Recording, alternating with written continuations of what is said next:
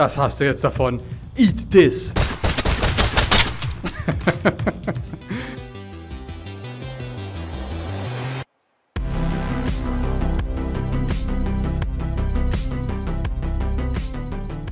Hallo Freunde der virtuellen Realität. Schön, dass ihr eingeschaltet habt zum heutigen Gameplay-Video. Falls ihr meinen Kanal noch nicht kennt, ich bin Sebastian, ihr seid hier auf Tupac VR und hier gibt es alles rund um das Thema VR. Und heute sogar mal ein kleines Special. Ich zeige euch Gameplay mit der Quest 2 und mit der Valve Index von dem Game Stride.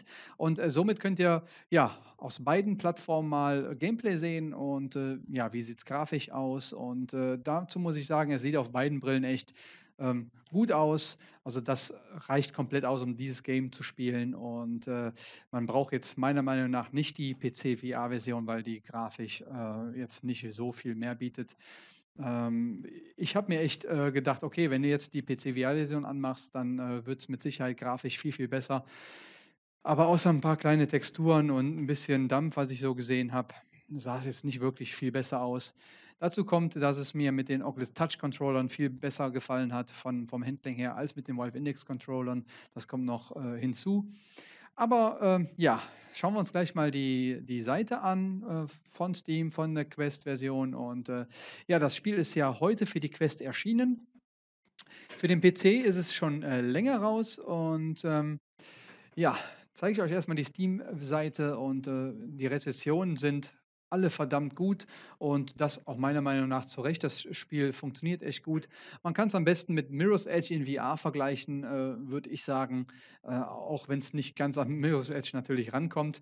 Es ist ein Story-Modus geplant. Wann der kommt, äh, weiß ich nicht, aber es ist ein Early Access-Titel. Von daher kann echt noch viel passieren, weil macht es schon Spaß und es ist auch sehr, sehr anstrengend. Also ich habe echt gut geschwitzt eben nach einer, ja, 40 Minuten Gameplay mit beiden Brillen. Und es ist schon äh, seit September 20 erschienen auf, äh, auf Steam. Und äh, hier, hier gibt es sogar noch einen Multiplayer-Pass. Dazu kostet 16,79. Ich äh, habe aktuell noch nicht den Preis der Quest-Version. Werde ich auf jeden Fall nachtragen in, in die Beschreibung. Dann äh, könnt ihr euch direkt ein Bild machen davon. Läuft auf Wolf Index, HTC Vive, Oculus Rift und WMR-Brillen, also alle gängigen VR-Brillen werden hier unterstützt. Und ähm, ja, wir haben, wir haben einen Endless-Mode, wir haben einen Arena-Modus und äh, wir haben einen ähm, Time-Run-Modus und äh, ja, außer der Action-Modus gefallen mir die anderen Modis nicht so gut. Äh, Action-Modus fand ich ganz cool. Äh, muss man Gegner bekämpfen, man muss äh, so äh, Koffer einsammeln und äh, man muss einfach von A nach B, um Ziele zu erreichen in, in irgendeiner Zeit X. Also das hat mir ganz gut gefallen.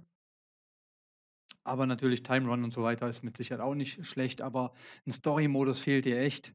Da bin ich echt gespannt, wann das kommt. Und äh, ja, hier haben wir die Quest-Version, erscheint am 5.8. Also für mich heute, für euch, äh, für mich morgen, für euch heute. So, Mann. und hier steht es auch nochmal Endless Mode, Time Run Mode und Arena Mode. Und äh, ja, es, es funktioniert echt gut. Man muss, äh, also es ist jetzt mein erstes Gameplay gewesen. Man muss äh, einiges an Übung haben, um, um diese, diesen Parcourslauf da gut äh, zu meistern. Ich bin auch echt äh, oft abgestürzt. Ähm, wenn man springt, hat man auch die Möglichkeit, einen, einen Doppelsprung zu machen. Der ist e, echt extrem wichtig, äh, weil man teilweise sehr hohen äh, oder weite äh, Sprünge machen muss. Und äh, ja, dann muss man gleichzeitig auch noch wissen, wenn man äh, sich bewegt in dem Spiel mit äh, Thumbstick, dass man auch gleichzeitig noch so mit den Armen machen muss, um schneller zu laufen. Das ist auch wichtig, um weiter zu springen. Also äh, schon cool gemacht und äh, ja, man merkt es auf jeden Fall auch in, äh, in den Armen äh, ein, zwei Tage später. Hier sind wir auf der Homepage von Joyway. Werde ich euch auf jeden Fall alles in die Beschreibung packen. Und äh, ja, hier, hier steht es auch Story. In Story Mode, you come to understand the origin of the, this dystopian metropolis while crawling with gun-toting bad guys. Why they're out to get you and what you must to do to stop them. ja, also auf jeden Fall wird uns im Story-Modus erklärt, was da los ist, äh, warum die Typen auf uns äh, ja, schießen und äh, wie wir das Ganze stoppen können. Also da freue ich mich auch auf jeden Fall drauf. Ansonsten sind die, bei, äh, die drei äh, Modis cool, um, um das Handling äh, zu erlernen und äh, vielleicht auch gar nicht so äh, unwichtig für den Story-Modus dann, wenn man nachher gut gerüstet ist. Und äh, es ist auch ein gutes Tutorial dabei, also da wird einem wirklich die Steuerung verdammt gut erklärt. Und sollte man auf jeden Fall, bevor man da in die Arena geht oder so, sollte man äh, dieses Tutorial abschließen, ganz wichtig. Und äh, ja, wie schon erwähnt, Valve-Index-Steuerung hat mir nicht so gut gefallen. Äh, bei dem Spiel habe ich echt meine Probleme gehabt. Touch-Controller waren hier echt super. Auch mit dem Abspringen und so weiter hat mir besser gefallen. Ähm, aber trotzdem mit den Valve-Index-Controllern nach einer Zeit äh, X kann man schon damit gut umgehen und äh, man, ich konnte auch einige ähm, ja, weitere Sprünge ohne Abstürzen überleben. Jetzt aber genug ge geredet, geschwafelt. Los, ab geht's ins Gameplay und ich wünsche euch viel Spaß dabei. So Leute, willkommen bei Stride auf der Oculus Quest 2 und ja, hier sind wir im Menü. Schauen wir uns mal ganz kurz um. Ja, sieht soweit ganz gut aus. Wir schauen uns nachher nochmal äh, die PC-VR-Version an. Wir haben hier drei Spielmodi. Einmal einen Endless Mode, einmal einen Time Run und einmal einen Arena-Modus. Und ja, schauen wir uns mal ganz kurz die Settings an. Was haben wir hier zur Verfügung? Wir haben einen äh, Turn Mode. Wir können ihn auf Snap schalten oder auf Smooth oder gar nicht. Aber ich mache Snap 45 Grad, das mache ich ganz gerne. Snap Turn und ja, dann haben wir Audio Settings. Wir können das Master Volume, also das die gesamte Lautstärke einstellen und hier können wir die Musik nochmal beeinflussen. Wir haben einen Equalizer äh, für VR-Speaker. Den lassen wir einfach mal eingeschaltet. Und dann haben wir auch noch mal äh, einen, eine Höhenkalibration und fast auch so ungefähr, ich bin 1,84 und äh, ja, das machen wir jetzt einfach, einfach mal, Kalibration completed, aber wir machen nochmal You can now adjust height manually. Also eigentlich muss man die Arme ausstrecken und drückt dann beide Trigger und äh, schon ist man dann halt kalibriert. So, wir machen es her, aber mal auf 1,84. So. Reply, Exit, Back. Und jetzt schauen wir uns mal ganz kurz jeden Modus mal ganz kurz an und beginnen mal mit dem Endless Mode. So, hier haben wir den Endless Mode. Er, äh, er lädt jetzt hier mal die Highscores und ähm, ja, hier haben wir die, die Schwierigkeitsgrade. Ich bin echt äh, sehr, sehr ähm, unbegabt bei dem Game. So, das, das passt eigentlich ganz gut. Aber ich versuche es euch trotzdem ein bisschen näher zu bringen. Also wir haben äh, hier so eine Art Mirror's Edge in VR. Wir können ähm, klettern, springen. Wir, können, äh, wir haben auch so einen kleinen ähm, ja, Zeitlupenmodus. Wir können äh, auf Gegner schießen. Und ja, das ist eigentlich erstmal so das Game im Großen und Ganzen. Wir haben ein cooles Tutorial, was ich euch nicht jetzt zeigen möchte, aber das sollte jeder am Anfang spielen, ganz, ganz wichtig. Und ja, ich würde sagen, legen wir mal los. So, mit Thumb-Stick äh, bewegt man sich und wenn man dann auch noch diese Bewegung macht, läuft er schneller. Das mache ich jetzt mal. Dann haben wir noch Buttons zum Springen.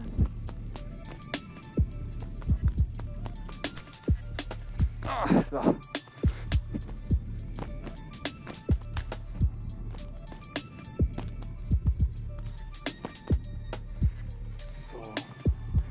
Hier sehen wir, die Welt wird langsam schwarz. Das heißt, wir müssen uns ein bisschen beeilen. Das ist quasi der Endless Mode.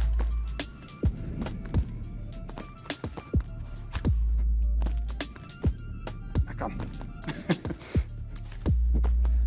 Also ich habe es gestern nur mal ganz kurz geübt und habe heute schon Muskelkater. Also es ist sehr, sehr anstrengend.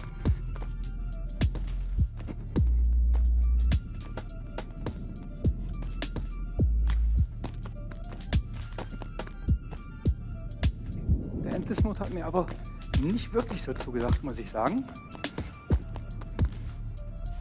Okay, hier müssen wir springen.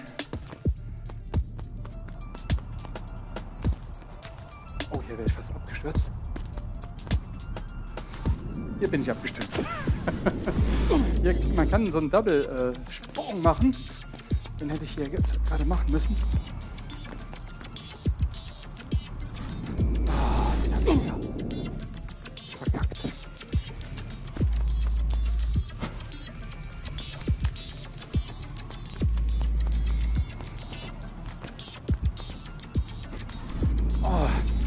Irgendwie schaffe ich den doppelten Sprung nicht mehr. Komisch. Ah, ist schon anstrengend. Und probieren wir nochmal ganz kurz.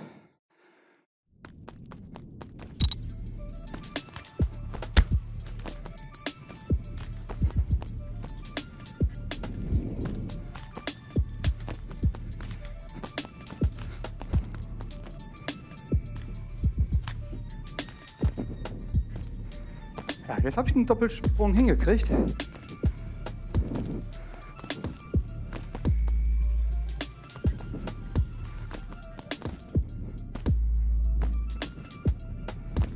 Ah,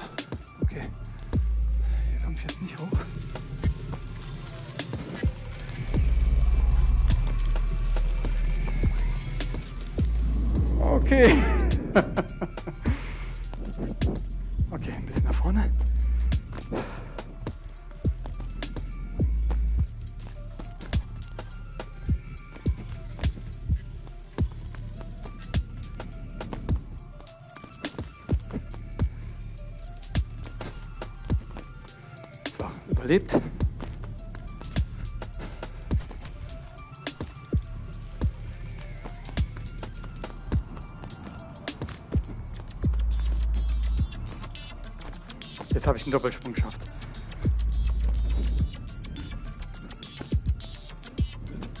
Man kann auch an den Wänden entlang laufen. So.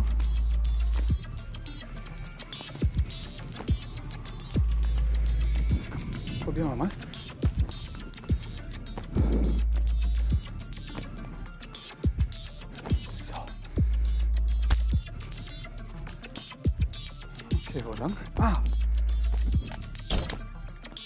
Auf die Tür.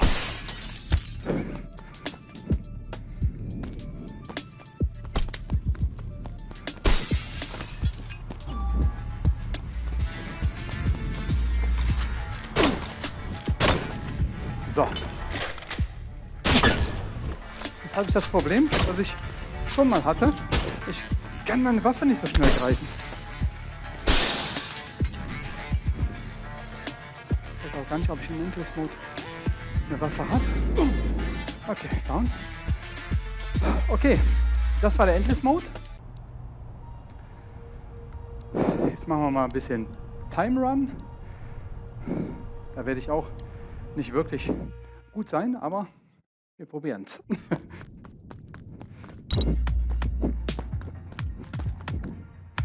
okay, okay. Der war ein bisschen zu heftig, der Sprung.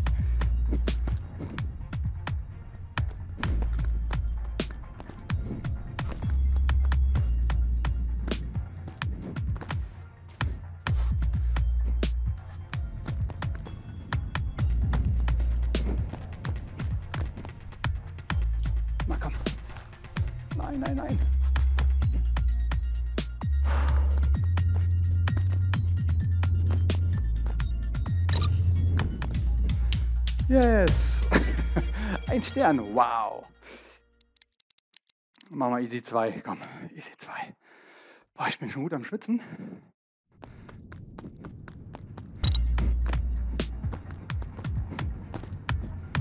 Ist halt wirklich ein Parcours-Game.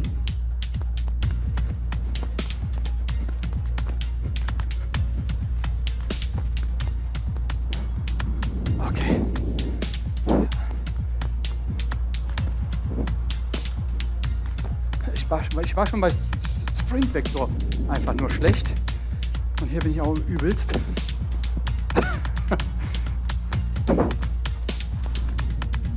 Okay, ich habe nochmal überlebt.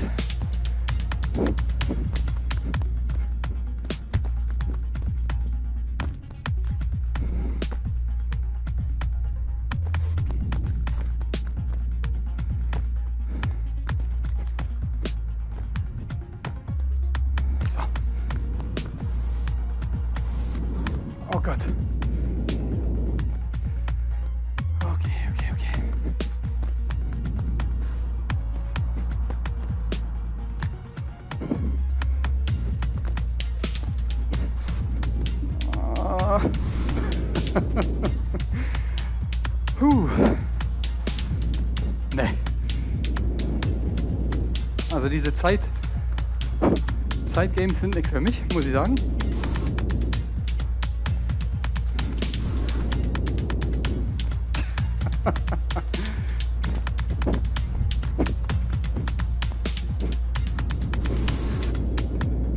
okay.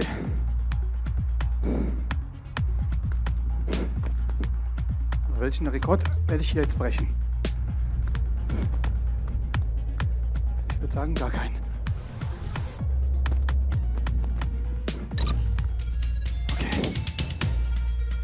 Dafür, ja, dafür kriege ich keinen, keinen Stern, ist ja schon mal gut. Also das ist ja der, dieser Time Run und jetzt haben wir Arena und Arena finde ich speziell für mich am, am besten. Hier haben wir ähm, immer Aufträge, die wir erfüllen müssen. Oh, Musik on, ob das geht, weiß ich noch nicht. So, Start. So, Collect Cases. Hier wird uns jetzt angezeigt, wo wir hin müssen. Und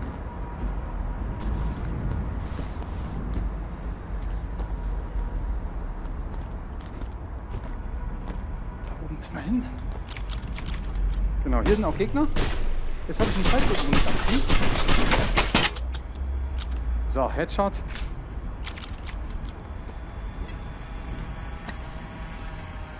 So, jetzt haben wir den. Wo ist der nächste? Der nächste ist da, okay.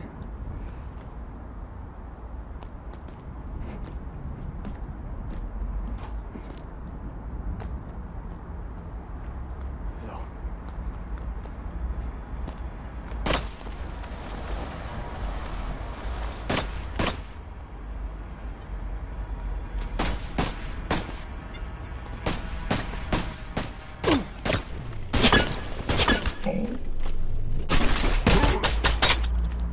So. So, nächste.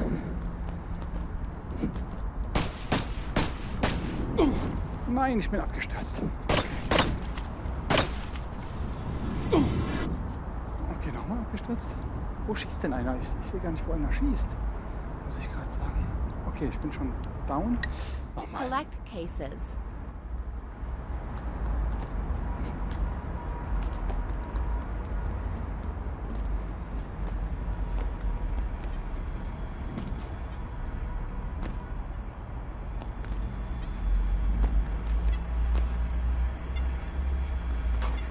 Komm besten hier hoch.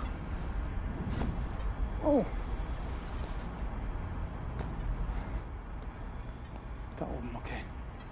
Ich weiß gerade noch nicht, wie wir da hochkommen.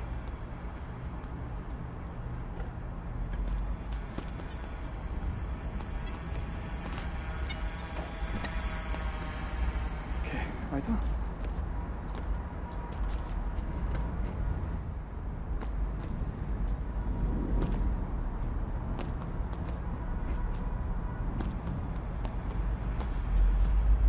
Na komm.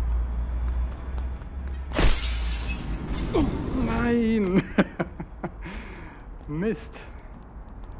Okay, da können wir auf jeden Fall nicht rüber. Das bringt das jetzt nicht, ne?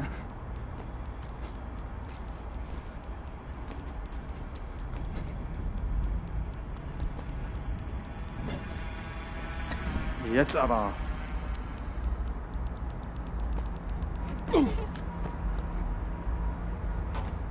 Reach the checkpoint. Das hat mich aber jetzt gerade rausgehauen. Wurde doch gerade noch angezeigt, dass ich in die Richtung muss, auf einmal nach da. Okay.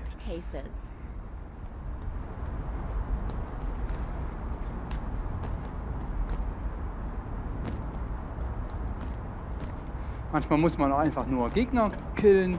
Das ist auch ein Auftrag.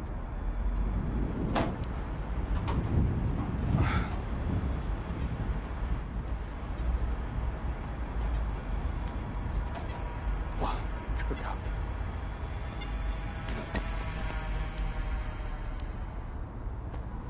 Wäre cool, wenn ich jetzt auch, mal was schaffe, ne? so, um mal zu zeigen, wie so eine Mission auch fertig, fertig gespielt werden kann.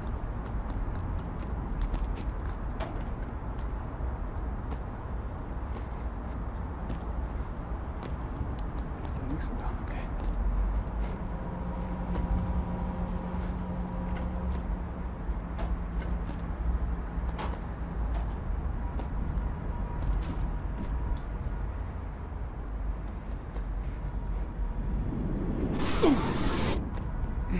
Ich dachte, der Doppelsprung würde hier funktionieren. Okay. War wohl nix.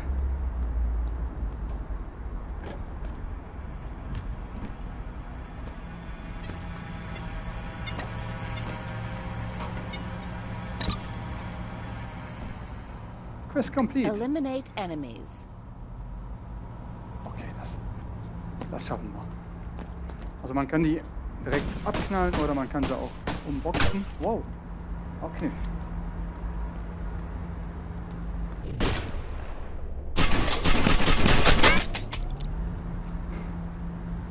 So, lädt man nach, einfach hoch, runter und schon ist sie nachgeladen. Das war aber nicht unser Gegner.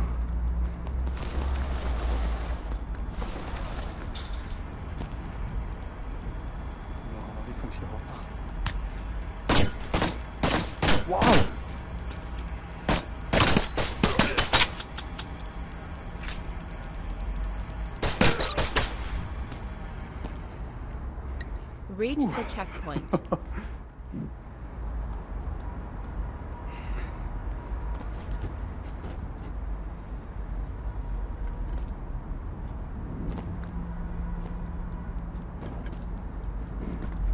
Jetzt müssen wir hier noch so ein Spider-Man. Ach, guck mal. Headshot. Okay, jetzt, jetzt gehen wir da. Wollen wir nicht hin. Da wollen wir nicht hin. Wenn dann, wenn dann hier. Ah, willst du wohl?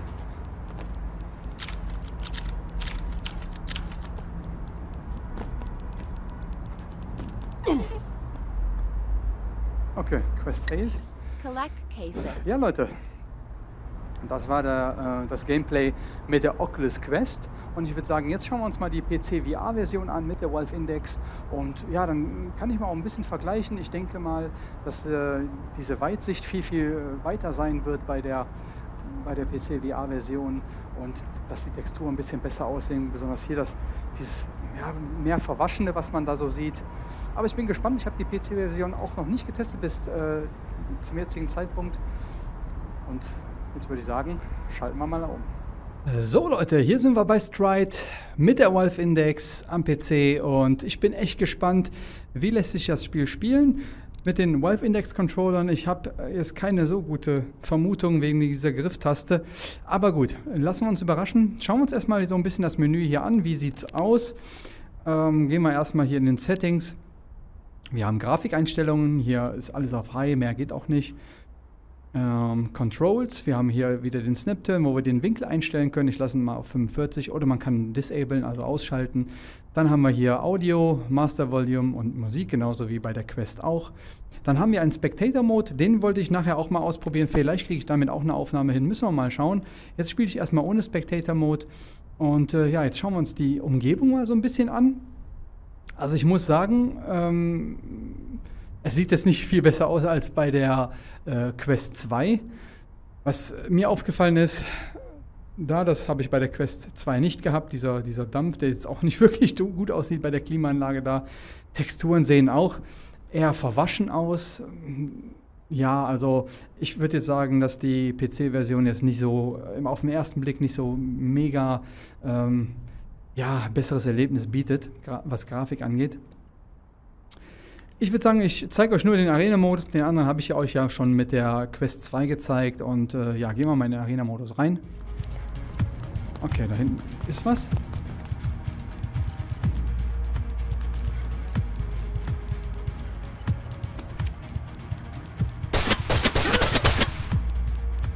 Okay. oh!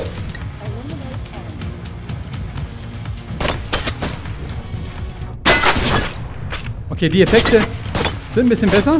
Zeitlupenmodus. Und auch beim Schießen.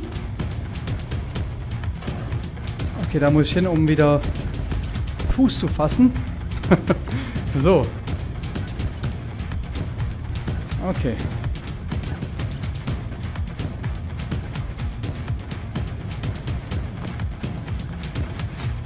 So, okay. Hammer.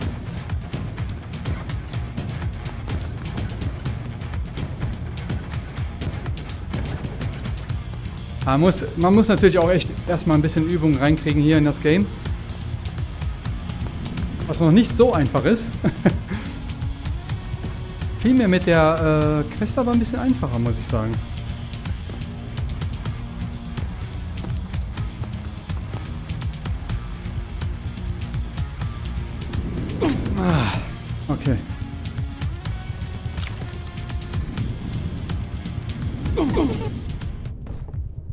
Okay, schon down. Wow. Jetzt muss ich hier rüber.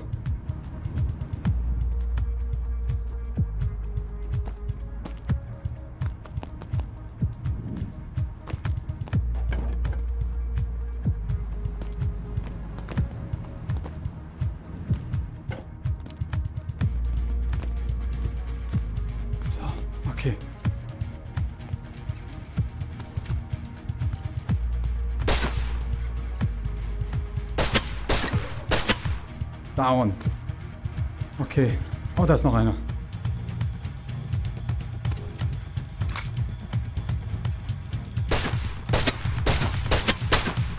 Down. Oh Gott, wie komme ich hier, hier denn rüber vernünftig?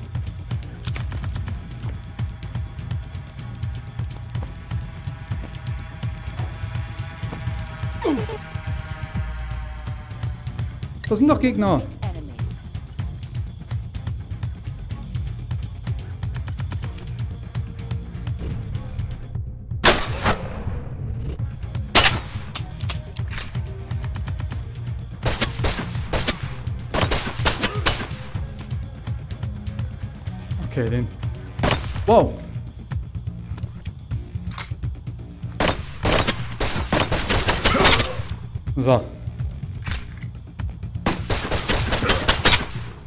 Ist hängen geblieben. Komm. Lass los.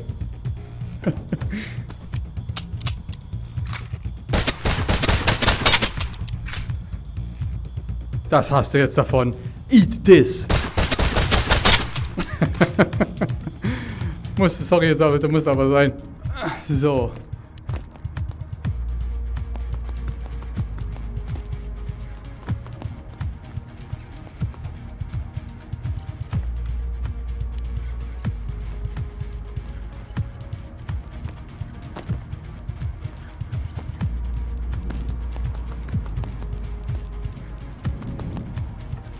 Klappt's ja einigermaßen. Oh, das hätte ich nicht sagen dürfen. oh, da sind wieder welche.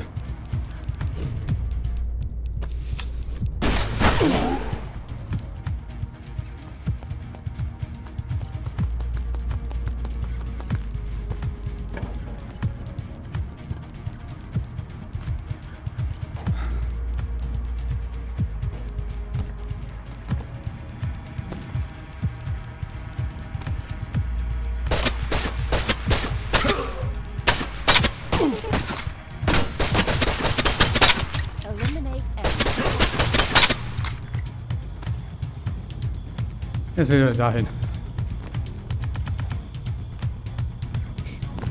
Nicht so schnell, nicht so schnell.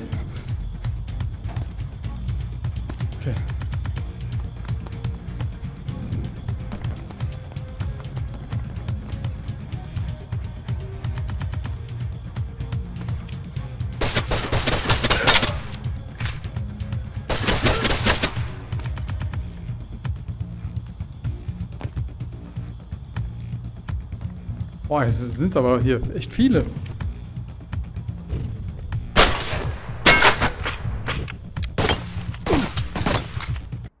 Ja, Leute, das war Stride und ja, also wirklich, man braucht nicht unbedingt die PC-VR-Version. Äh, ich finde es wirklich mit der Quest sogar noch ein bisschen besser, weil die Controller hier nicht so toll äh, funktionieren, meiner Meinung nach, für dieses Spiel hier. Für andere Spiele ist es vollkommen in Ordnung, aber äh, ich habe so mein, meine, ja, meine Probleme mit dem Teil bei dem Spiel hier.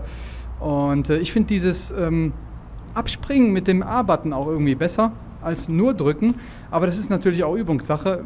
Es ging jetzt nachher ein bisschen besser bin nicht mehr so oft abgestürzt und äh, ja, ich bin aber noch mehr gespannt auf den Story-Modus. Das ist ganz nett, man sieht mal, wie das Ganze hier funktioniert, ähm, was für Möglichkeiten man hat, wie man äh, springt und äh, wie man hier rumklettern kann.